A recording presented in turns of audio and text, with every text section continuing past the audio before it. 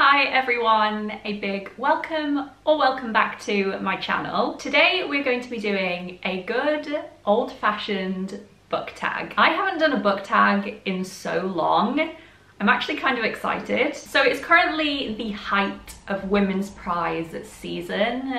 This year's winner is due to be announced on the 13th of June. And so I thought I'd do a tag that I've been meaning to do for ages, the Women's Prize for Fiction tag. I've got seven questions to answer I do feel like there's been a few different iterations of this tag, so I'll do my best to leave the original linked below. We've got so many amazing books and female authors to chat about today. I feel like this is a really nice opportunity to dive back into some old favourites as well. Bring back to light some books that I loved years ago when I first started my channel. As it is a tag, I tag all of you. If you have a booktube channel, I tag you. Please let me know down below in the comments if you're going to make a video and I will definitely watch. And if you don't have a channel, I still tag you. Stick some of your answers down below. I would genuinely love to hear your recommendations. So let's get into the questions. Question one is, which was the first Women's Prize winner you read? When did you read it and what did you think of it? So the first Women's Prize winner I read I think, was A Girl is a Half-Formed Thing by Eimear McBride. This one in 2014, but I actually read it a couple of years later when I first really started getting into following the prize. I loved this book when I read it. It actually kind of blew my mind. Plunging you deep into the psyche of the narrator, this book tells the story and coming of age of a young woman, detailing the long shadow caused by her brother's childhood brain tumour and the trauma and sexual abuse she suffers as a child. This book is challenging both thematically and linguistically. It is one of the best most immersive stream of consciousness style books I have ever read. This was actually a really formative reading experience for me, I feel, both in terms of starting to read more experimental literary fiction and also by making me such a fan of the prize. I really need to revisit some of Eimear McBride's work at some point. Question number two is which author have you read because of the prize who has become a favourite? So there are a lot of amazing authors authors who I have discovered because of the prize. But if we're talking about the ones who have become true, true favourites. Firstly, definitely Claire Lombardo, who was on the list in 2020 for the most fun we ever had. Set in Chicago, this one follows a madly in love married couple 40 years into marriage and their four children, as a long buried secret threatens to shatter the lives they have all built. This is an epic family saga filled with drama and intrigue and heartache. Basically my favourite type of Women's Prize novel. I actually also have a proof of Claire Lombardo's newest novel coming later this year, which I'm super excited for. Another favourite author of mine who I read because of the prize is um, Ann Patchett. She was also on the list in 2020 for The Dutch House. This one tells the story of siblings Danny and Maeve over five decades from when they moved into the lavish Dutch house at the end of the Second World War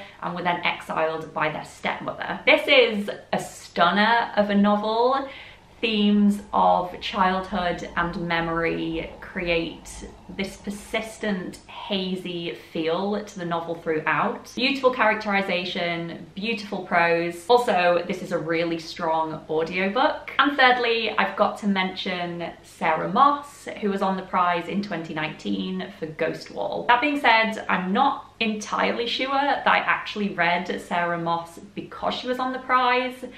I think maybe I was a fan of her before she was longlisted. Either way, she's so good. Ghost Wall is set in the north of England and follows a teenager, Sylvie, and her family as they join an archaeological group to recreate the lives of people in the Iron Age. Her prose in here is so delicious and sensory I kind of want to eat it. Her novels always feel perfectly short and tense and observant with a thrilling kick at the end. Big recommend her other novels, Summer Water and The Fell too. Question number three is which favourite author of yours has yet to win the prize? Sarah Winman. Not only has she never won the prize, she's never even been longlisted. This is a travesty and I will die on that hill. Honestly, the shock and disappointment I felt that she didn't make it onto the list in 2022 for Still Life,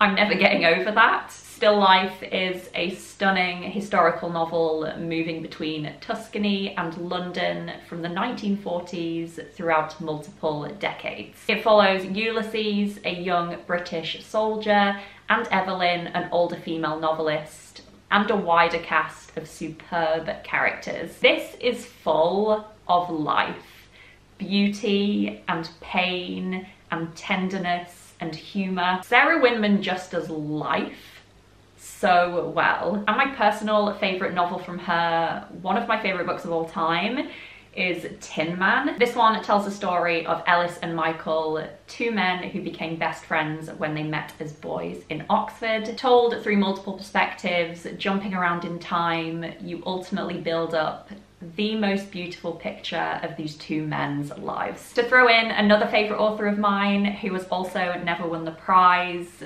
Sarah Hall. She is a Cumbrian author, which is where I'm from in the north of England. Her writing is so accomplished and beautiful. She really knows how to write rural settings and painful and tender human relationships. My personal favourite novel from her is Haweswater, which was published in 2002. This one is set in the 1930s in a small rural community in the Lake District when a man from industrial Manchester arrives with plans to build a reservoir in the town. I fell in love with Sarah Hall years ago and I will now read anything she brings out. Question number four is which long-listed, shortlisted or winning novel has surprised you the most and why? So I'm going to say Praise Song for the Butterflies by Bernice L. McFadden. This was longlisted for the prize in 2018. It is published by the super cool indie publisher Jacaranda Books. This was the first time I'd heard about this book, this publisher, this author, and it blew me away. Set in West Africa, it tells the story of a young girl named Abeo who is enslaved in a religious shrine for 15 years when she is gifted as a sacrifice due to bad luck befalling her family. This is fascinating and gripping with the most beautiful characters. I still remember to this day reading the opening passage and then rereading it and rereading it again. This was probably one of the most satisfying Women's Prize reading experiences I've ever had. I just love it when it helps me discover new gems that I otherwise wouldn't have read. Question number five is which lesser known favourite author of yours would you like us all to read and which book would you recommend? So I guess Sarah Hall could be an answer to this question. She certainly isn't as well known as the bigger names you see on the Women's Prize lists. I'm also going to have to say Mary Beth Keane. Ask Again Yes was one of my favourite reads of 2019. It follows two families living in a suburban community in New York from the 1970s to present day. It examines various relationships and bonds between the family members and centres around a tragedy which occurs that ultimately haunts them all for years to come. This book has everything it has the characters, it has the plot. I haven't heard about nearly enough people reading her work. So many people would love her, especially if you tend to love the family drama type reads on the Women's Prize lists. Read this book. Question number six is which book published before the prize started could have won? So I've got two very clear answers for this. Firstly, Moon Tiger by Penelope Lively. This was published in the 1980s. It is one of my favourite modern classics. It follows the story of an old female writer who is coming to the end of her life when she decides to write her final novel, A History of the World as Experienced by Her. This is so expansive and stunning. This retrospective look at Claudia's life what she picks out to be significant and how this singular human experience plays into history as a whole is awesome. I heard Penelope Lively read a section from this book at a Booker event a few years ago and it was one of the best things I've ever heard. Secondly, I'm going to answer The Gathering by Anne Enright. Kind of a cheat because Anne Enright has been on the Women's Prize list many times since this book was published, but honestly, this one is her best. It came out in 2007, it's set in Dublin and tells the story of the nine Hegarty siblings as they all converge on their family home for the wake of their brother Liam. Anne Enright explores family dynamics in here so persuasively. They are spot on. I can't see her writing ever topping this novel people really need to dive back into her backlist. And the final question is, which has been your favourite winner so far? Hands down, my answer to this question is last year's winner, which was Demon Copperhead by Barbara Kingsolver. This was my favourite read of last year.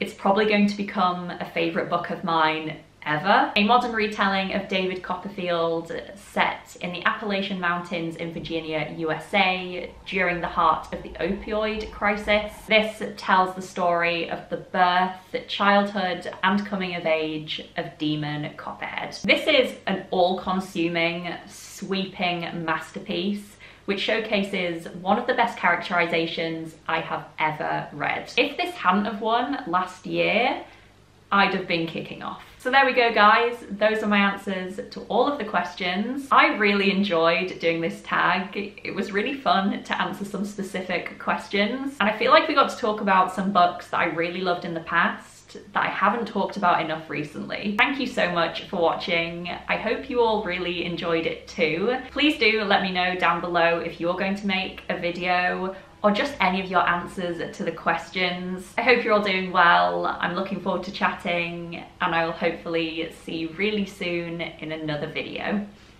Bye guys.